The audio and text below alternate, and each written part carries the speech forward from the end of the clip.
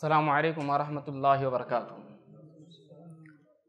अल्हम्दुलिल्लाहि Kaffa वसलाम अला इबादिहिल्लज़ीन इस्तफ़ा अम्मा बाद दीनी व मिली भाइयों किताब सही तरगीब व तरहीब से हम जो हदीस आज देखने वाले हैं वो तकरीबन उस मफहूम और माना की बहुत सारी हदीसें गुज़र चुकी हैं बस छोटा सा उसी हदीस का टुकड़ा है। इस हदीस में असल एक रावी हैं, हज़रत जाबिर बिन अब्दुल्ला रज़ी अल्लाह तआला उनसे जो हदीस रिवायत है, उस माना की मफहूम की हदीस पहले हम पढ़ चुके हैं, समझ चुके हैं। बस खाली अब उनकी ज़िंदगी के बारे में बताना है। उनकी ज़िंदगी, नाम जाबिर बिन अब्दुल्ला है और इनके वालिद जो है, वो गज़व उहद में शहीद हो गए।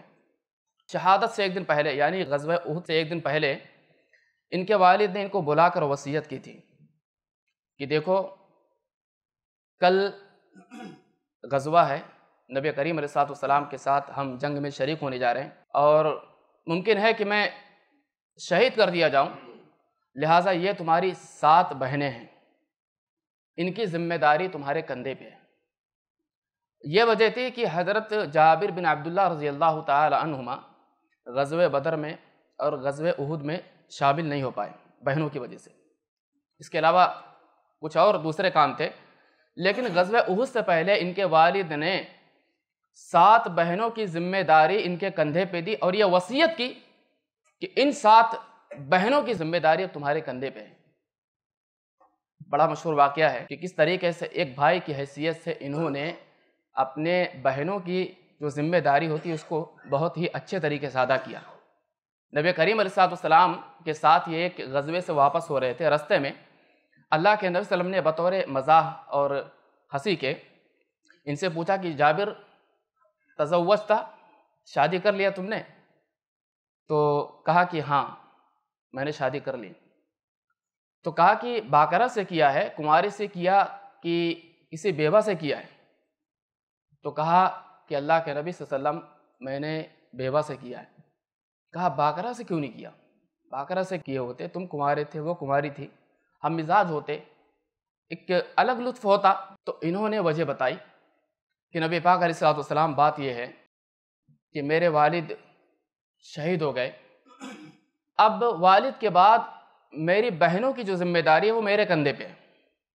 लिहाजा मैंने ये सोचा, मैंने बाकरा के बजाय सैयबा, यानी बेवा को, एक तजर्बेकार औरत को मैंने इस वजह से तरजीह दी, ये कुर्बानी मैंने इस वजह से दी कि वो तजर्बेकार रहेगी, वो मेरे बहनों की देखभाल करेगी, उनके बालों को संवारेगी। देखिए, उनके बालों को संवारेगी, उनको अदब सिखाएगी, ज़िंदगी गुजारने का तरीका और तजर्बा शेयर करेगी।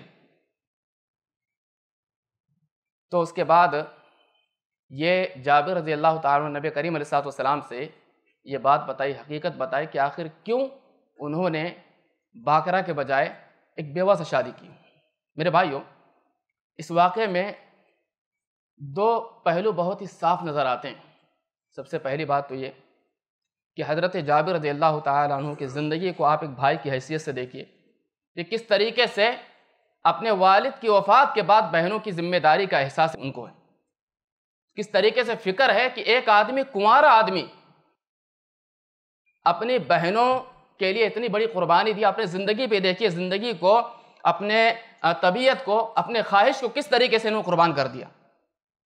आज हमारे यहाँ सूरत हाल यह है बहनों के मामले में, अगर बाप की वफ़ात हो गई तो बड़ी लापरवाही हो जाती है।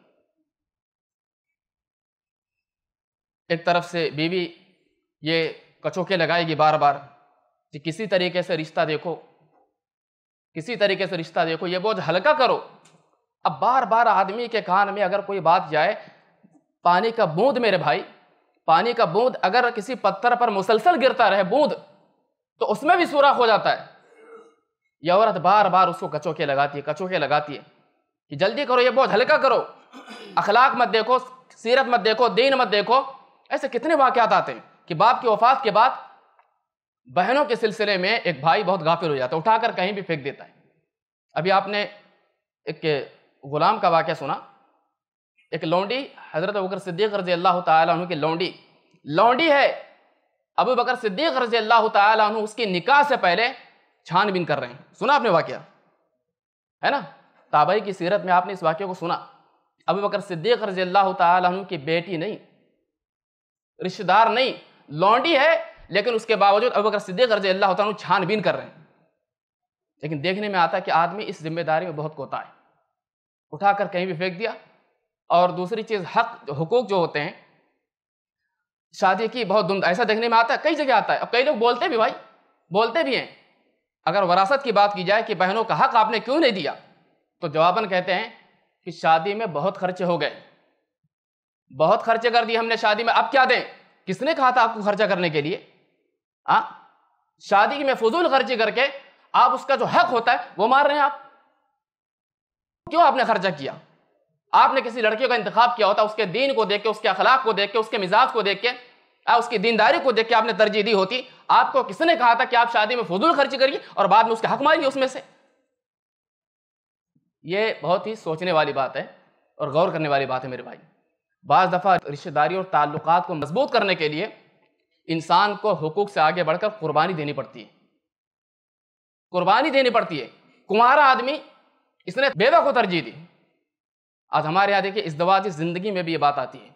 मियाँ बीवी के हुकूक के जंग चलती है। कुर्बानी का जज्बा नहीं पाया जाता है। पढ़ी लिखी लड़कियाँ खसूस उनको सिर्फ़ इतना याद है कि मेरा हक क्या है? मेरा हक ये है, मेरा हक ये है, मेरा हक ये है। शौहर के माँ बाप की खिदमत करना, ये कहीं भी नहीं लिखा हुआ, ये मेरा हक नहीं है। किसी ने बहुत खूब कहा कि जो बीवी ये बात कहती है कि शौहर के माँ बाप की खिदमत करना ये मेरा हक नहीं है, उससे ये पूछो कि जो कपड़े पाँच सौ में मिल सकते हैं, तुम पाँच हज़ार में लेती हो, इस, ये कहाँ लिखा हुआ किताब सुन्नत में?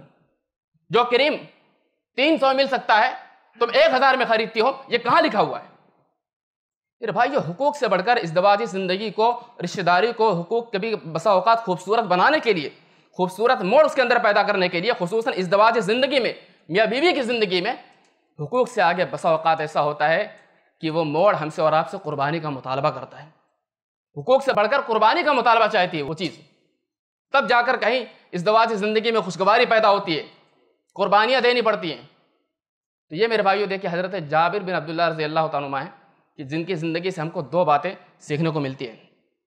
अल्लाह ताला हमें और आपको जो है अमल की तोफ़ी अता फरमाए। ये इनके हवाले से थी। बाकी जो हदीस है, इनसे जो मरवी हदीस है, दो तीन, वो तकरीबन इसके माना मफहम की हदीस गुजर चुके हैं। इस पर इसलिए हम जो है, इस पर बात नहीं करेंगे। अल्लाह ताला आपको जो है, अमल की तोफ़ी अता फरमाए। आमीन। अल्लाम वरहमल वर्का ऐसे ही फ़ायदेमंद इस्लामिक वीडियोस देखने और मनहज सलफ़ पर किताब व सुन्नत की तालीमत को आम करने में हमारा ताउन करें, ताकि आपके लिए ज़रिया नजात, जन्नत के हसूल का सबब, साथ ही माल में बरकत व इजाफे का ज़रिया भी बने। आमीन। जजाक अल्लाह खैरन।